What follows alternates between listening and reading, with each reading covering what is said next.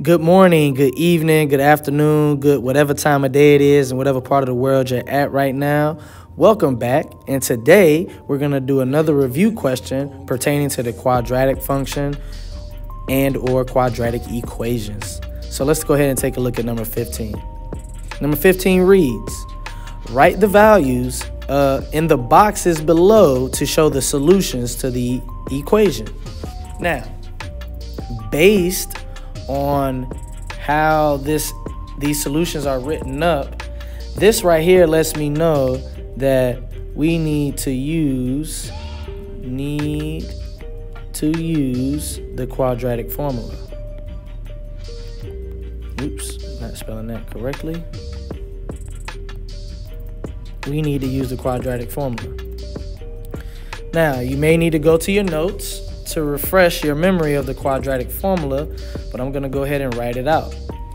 The quadratic formula is x equals negative b plus or minus the square root of b squared minus 4ac, all of that divided by 2a. So now, without further ado, in order to complete it, we need to label this as A, B, and C. And we know that A is 1. So we have A is equal to 1, B is equal to negative 2, and C is equal to negative 17. And just to make sure we we all understand that, I'll, I'll do this over here. Here's A, positive 1. Here's B, negative 2. Here's C, negative 17. Okay?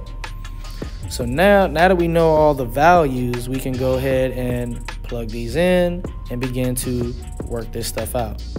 So x equals negative, and then what's b?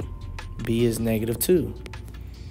Plus or minus the square root of b squared, b is negative 2, and we got to square it, minus 4 times a times c. A is 1, C is negative 17. And all of that is going to be divided by 2A, or 2 times A, A is 1. Okay?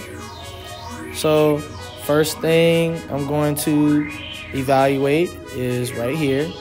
A negative times a negative is a positive. So, this is going to become positive 2 plus or minus. Now I'm going to evaluate negative 2 squared, which means negative 2 times negative 2. And a negative times a negative is a positive. So this becomes 4 minus, right? Now I have to do 4 times 1, which is 4, and then I have to multiply that 4 times a negative 17. So when you do 4 times 17, you end up with 68, but that's going to be a negative 68. And then all that's going to be divided by, so we did that next, and that's how we got the negative 68. And then obviously on the bottom, the denominator right here, 2 times 1 is 2, so that becomes 2 on the bottom. Now we're going to continue. Um, the So we have x equals 2 plus or minus the square root of 4 plus 68. So right here, we have to change this Okay, we have double negative, it changes to a plus sign, right? And everything is still divided by positive 2. So now if we keep working, we get x equals 2 plus or minus the square root of 72. And all of that is going to be divided by 2. Okay?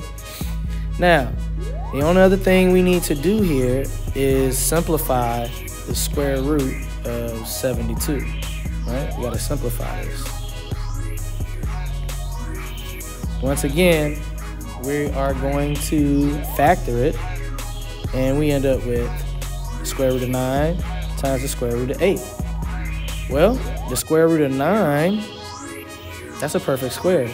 That's 3. Okay? We still have to factor the 8 the 8 is not a perfect square, but if we factor it, it can factor in the 4 times 2.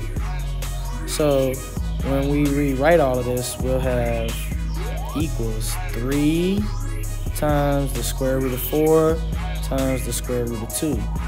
Now, the square root of 4 is a perfect square.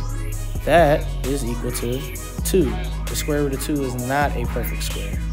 So when we simplify this, this becomes 3 times 2 times the square root of 2. 3 times 2 is 6 times the square root of 2. So now we know that the square root of 72 is really 6 square root 2. So we're going to have 2 plus or minus 6 square root 2, all of that divided by 2. Okay? Now that we've done that, we're only going to focus to simplify to finally get to our, our final answer. We have to still simplify. These numbers that I'm highlighting right here all can be divided by 2. So technically speaking, I can divide this by 2, I can divide that by 2, and I can divide the 2 in the denominator by 2. So when we do that, this becomes 1 plus or minus 3 square root 2, all of that divided by 1. But we already know that anything divided by 1 is just itself. So our final answer would be 1 plus or minus the square root of 2. That's our final answer. So now let's scroll back up. And remember, we had x equals 1 plus or minus 3 square root 2. And let's just double check our work. Let me scroll back down. 1 plus or minus 3 square root 2. That's what we have. So getting back to that, I can erase all this now. We just need to fill these numbers in. This is going to be 1. We already have the plus or minus, and then 3, and then square root of 2. And that, ladies and gentlemen, will conclude um, the review of question number 15. Have a great day and see y'all back later. Deuces.